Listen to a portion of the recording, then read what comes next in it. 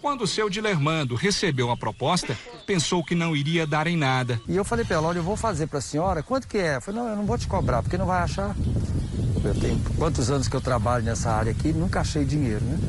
Mesmo assim, ele pegou o carro de som e saiu pelas ruas de Itapuranga, cidade de cerca de 27 mil habitantes, a 160 quilômetros de Goiânia. Comunicado importante. Minutos antes, o Júlio encontrou um pacote no centro da cidade. A primeira providência minha foi pensar em devolver o dinheiro. Ele tentou encontrar o dono do dinheiro por meio das imagens das câmeras de segurança das lojas da região, mas não foi possível. Foi quando escutou o anúncio do carro de som. Atenção, muita atenção para este comunicado.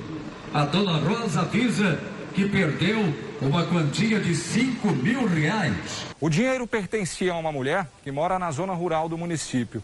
Ela tinha sacado 10 mil reais referente a uma ação judicial e dividiu em dois pacotes de 5 mil. Um deles caiu exatamente neste local. A dona de casa só deu falta do dinheiro quando chegou na casa dela.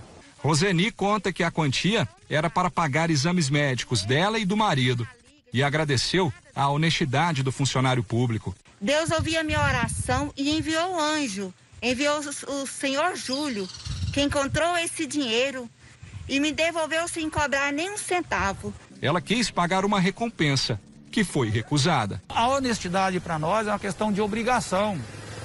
E nós entregamos para a senhora sem, sem não, não quero receber nada.